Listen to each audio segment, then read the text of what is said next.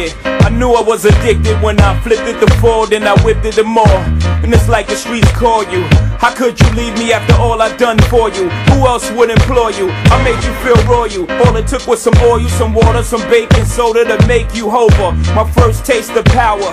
I'm numb off the feeling. I'm done off, niggas. I can't stop I'm dealing. to the game.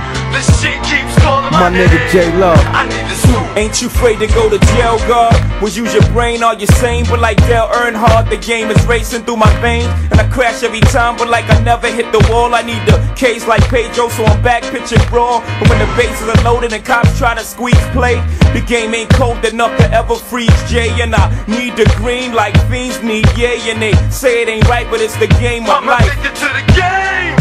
This shit keeps calling my name. I need the. I rap now, J-Love. I eat good, I smoke good, drink good, multi-millionaire, but still I think hood. Belly full, I can't shake it. The hunger in my belly has been replaced with other forms of starvation. I guess it's just It's old school. That's a hidden track. You don't know about that. Right now, 6:07 p.m. Eastern Standard Time, August the 14th, 2018. And this is custom for me every 30 days before a major WBC fight. It's the 30 day weigh in. And in this case, the biggest 30 day weigh in of the year, where Canelo weighs in at 167.4 in his little dick pocket underwear. You know, it's got to be extra. Why couldn't he just, whatever? You got um, Golovkin that says 168.3. Now, I got a chance to pull up some information here from Golovkin's previous 30 day weigh ins before his um, May fight against um, uh, Vanes Martirosyan and before his um, the first fight with Canelo 30 days before that. So, let's see. For example, last year on the 17th, he weighed in at 170 pounds. So he's, uh, you know, about, you know, just under two pounds lighter than he was um, last year. I couldn't find the uh, 30 day weigh in for Canelo, and I read that he didn't partake in it, but he did weigh in under the 176 pound limit. Okay, for example, for the WBC, you have to weigh in under 176 pounds. When Golovkin fought Kell Brook, Kell Brook was at 176 pounds, right at that max. I don't know exactly what they do if you weigh in over, you know, 176. I'm not quite sure, but nonetheless, nonetheless, Golovkin has been in pretty good shape. Um, I think I've realized now that people didn't understand or get that I was trolling when I said Golovkin was out of shape when I did that TMZ, whatever it was. But anyway, getting back to um, what we were talking about. The 30 day weigh in for Jacobs was 165, for Kell Brook 165, for Dominic Wade 164, and for David Lemieux 165. So for the Canelo, let's see, wait, what was he for 165.9 for Vanes Martirosyan? So it seems as though for the Canelo fights, he has been heavier or he's been focusing it, it, it's it's clear as day that for the Canelo fights he plans on coming in heavier or at least at the 30 day weigh-ins he's heavier right? You know that's just you know just looking at the data. But let's talk about a little bit of uh things that have been going on with the fight over the last um, several weeks. For example i went to check on my um, cable to see what Canelo versus Golovkin 2 is going to be on pay per view. It's looking like it's going to be 84.99 for HD. So we've already pretty much gotten used to to watching pay per view over here in the states 74.99, 75 bucks. Mayweather fights $100. Now it's looking like the norm is going to be 84.99 for HD. You know, they'll tell you, well, you know, it's 74.99, but who's watching that shit in standard definition? Right? There's some scumbags out there that are, but hey, no, you're not a scumbag because unlike other scumbags that didn't buy Kovalev versus Ward, at least you're buying the fight. So enjoy it in all enjoy it in all your standard definition uh, uh, uh, 480p glory. I'm not going to judge you as long as you buy the fight. But in this case, it's looking like it's going to be 84.99. I'm not too happy with it being um um one episode of HBO 24/7. In fact, yeah, it's on my Instagram. I'm I'm I'm, I'm not too thrilled with that. But I understand, you know, budget cuts and you know On an all new 24 7, the first fight left the world wanting more. A draw is the result. It means we'll get to see it again. Now, two of boxing's best prepare for the biggest fight of 2018. Follow Canelo Alvarez and Gennady Golovkin through the rigors of training camp as they aim to take the final decision of their September 15th rematch out of the judges' hands. Step into their lives before they step into the ring. 24 7 Canelo Triple G. I mean, what happened to the old days of, you know, three HBO 24 7s? I do like HBO's part in regards to the digital co- digital content. For example, on their YouTube page, they did something really good called um, "The Draw in the Desert." Look it up if you haven't seen it. It's the uh, it's it's similar to Showtime All Access Epilogue. You know how Showtime All Access with Mayweather, they'll have three episodes before the fight, and then they'll have one after the fight, following what's happened the week after the fight. You see what I'm saying? And that usually plays with the replay. Well, HBO did something similar, except it's only about nine, you know, ten minutes long, but still, you know, it gets the job done. So I'm I'm sure they're going to do something like this. Here is um Tom Loeffler of uh he 360 Promotions. He promotes um Golovkin. If you don't know talking about basically, man, it's some big shit on the line for this fight because if Golovkin loses, people gonna be like, yeah, look, he finally stepped up and lost, and he's old and this and that. You know, if Canelo loses, they're gonna be like, look, the hype job finally gets exposed again. It's some big ass stakes on the line, and not. You know, you know what I'm saying. I'm not saying you know like the Unvada uh, clenbuterol stakes, like good Omaha steaks. This, this this is a legacy fight for both guys. This is look if if Triple G wins this fight or retains his title, he breaks Bernard Hopkins' legendary record. Nobody thought anyone would break that record of 20 title defenses in the middleweight division. And if uh, Canelo wins the fight, all of a sudden, not only is he the best middleweight, now he's in the, the discussion for best pound for pound fighter in the sport of boxing.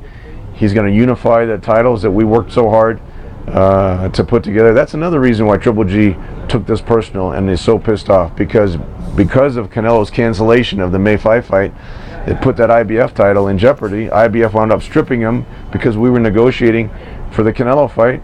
And uh, he's he you know he's always wanted to, to unify the titles, and now he's pissed off about that. So he's he's not happy with Canelo uh, at this point. What, whatever Canelo says, why Clenbuterol got in his system, Triple G's not buying it. He's pissed off, and he just wants to get him back in the ring. As soon as the Nevada Commission clears him, and he passes all of his uh, tests, Triple G is coming in there, and he's gonna be he's gonna be the hunter against the younger guy. Thirty days away. You know that's that's that's crazy right there. Um, let's go look at the card really, really quickly, and I'm gonna tell you who's um on it. By the way, please subscribe, man. I'm not doing this for my health. I'm not actually going out there this year. Don't want to take any chance getting kicked out of weigh-ins and shit. People think I um took the video down because of whatever. No, the video got taken down because of the music that was in um. And you know I don't gamble, so you know I don't. Now I haven't been in, in a casino in years, so I didn't know that you weren't supposed to be recording casinos and shit. It's crazy shit. Fun times, fun times. Whatever happens in Vegas stays in Vegas, man. Like if I would have died early this year, it's videos like that that I'm happy that are still around. You know, you know. What was I looking for? Okay, you got um obviously you know Canelo versus Golovkin for the um, WBA Super World and WBC title. Jermall Charlo is the WBC interim. Billy Joe Saunders is taking on Demetrius Andrade October the twentieth. We're working on um getting there for the WBO, and you have Sergey Derevchenko um, and Danny Jacobs fighting on HBO on October the twenty seventh. From my understanding, wait, let me check real quick to make sure. It, was it was just announced like a few hours ago that that's going to be the official date. Was it uh, was it twenty seventh? Yep, October the twenty seventh. And you would think that if Canelo loses, he's going to try to pursue another rematch right now. There's no, from my understanding, there's no more rematch clauses after this. This is it. And if Golovkin were to lose, You know, would he go to 168? Because Canelo's likely not going to give him a rematch. That's just how this business is. Would it go to 168? Or depending on, you know, like how, depending on how one fighter loses, because I think one of these motherfuckers going to get knocked out. Depending on how one of these fighters loses, a, a, a, third fight is very, very possible, and a third fight can be very successful, and technically be like you know the end of the pay per view era because pay per view is done. You know, people think HBO is like on their way out of boxing. You know, it's it's it's I don't I don't I don't know what what's you know in the future for HBO because they're not really investing in boxing. They're more focused on trying to like um, um, build off of established stars. And right now, with all the competition, with you know DAZN, with um, ESPN, you know with Showtime. Showtime is number one. In fact, let, let me let me let me let me say this.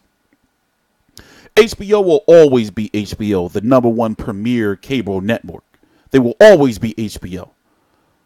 You know, documentaries, series, the movies they get, they will always be HBO.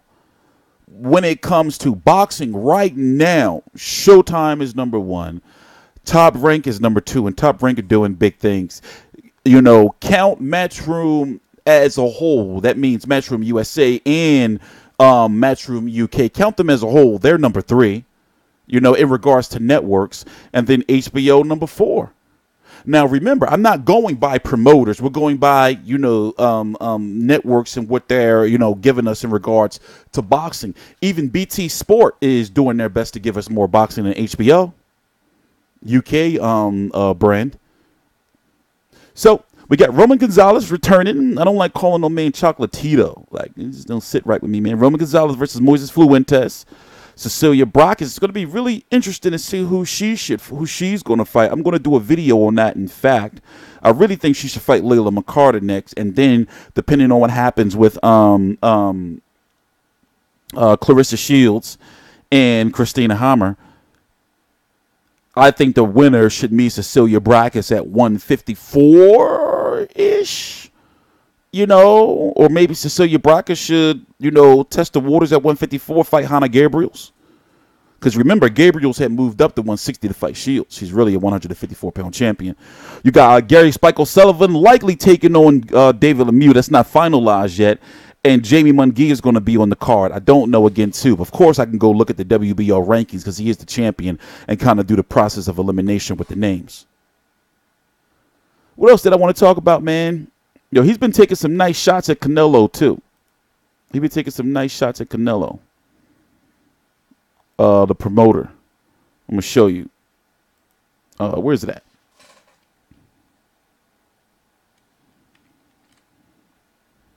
Canelo was at um at his event. I'm gonna show you. Here, watch this. We'll be right back. I just want to acknowledge a few people in the crowd. Canelo actually showed up to the event. I was like, oh shit.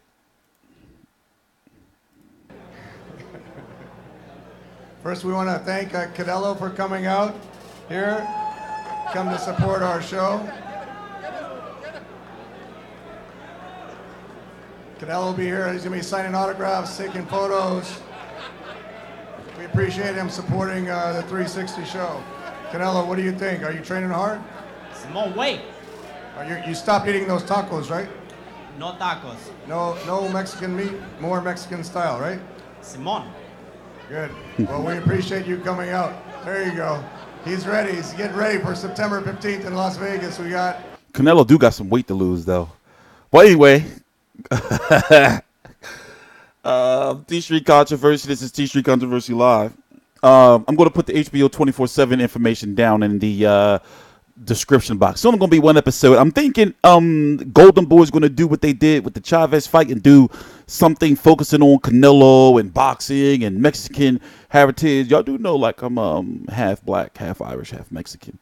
So, you know, I understand like they they they did something called Mano a Mano where they focused on um you know, Mexican heritage and Mexican boxing, you know, because we're fighters naturally. of T Street Controversy. This is T Street Controversy Live. Please subscribe.